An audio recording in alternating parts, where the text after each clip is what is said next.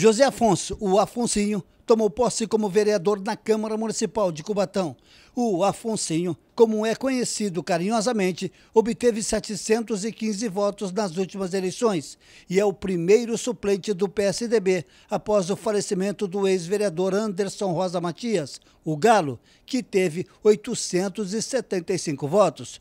O ato da posse foi conduzido pelo presidente da Câmara Municipal, o vereador Ricardo Queixão. Com certeza absoluta. Primeiro que é uma experiência, né? O Afonsinho falou aqui para nós que ele saiu sete vezes candidato a vereador. Então ele já está bem calejado, né? já sabe o que tem que fazer. Ele conversou ontem com a gente, comigo, com o vereador Tinho lá na presidência. Conversamos bastante, batemos um papo sobre a Casa de Leis e também sobre alguns projetos que está por vir, né?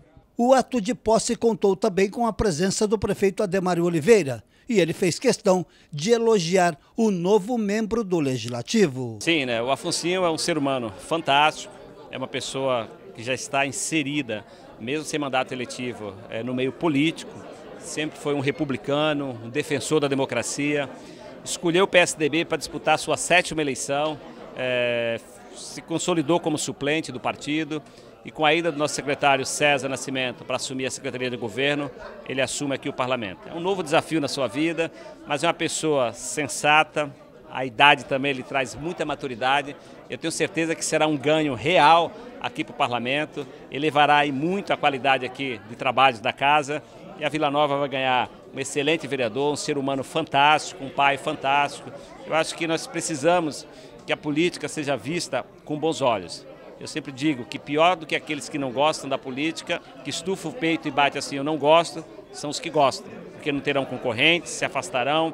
Então nós precisamos estimular que pessoas do bem participem do pleito eleitoral para que a gente possa ter uma oxigenação no campo das ideias e na consolidação da democracia. O vereador disse que Deus está em primeiro lugar e no momento certo ele assumiu uma cadeira no Legislativo cubatense. Chegou o momento, né? É aquilo que a gente fala, Deus em primeiro lugar. E quando a gente tem fé em Deus, as coisas tudo caminha bem. Então, cheguei, estou chegando hoje aqui, tomando posse e com fé e com coragem para trabalhar pelo nosso município, pela nossa cidade. Olhar pela nossa comunidade. Isso é muito importante, a gente tem que trabalhar em prol da população eu já venho, já venho fazendo um trabalho social já há mais de 10 anos é, na, Vila, na Vila Esperança, é, numa creche. E eu quero dar continuidade também o meu trabalho social, né? E é muito importante você estar tá junto com a comunidade, estar tá junto com a administração e fazer um trabalho é, decente, um trabalho voltado à comunidade.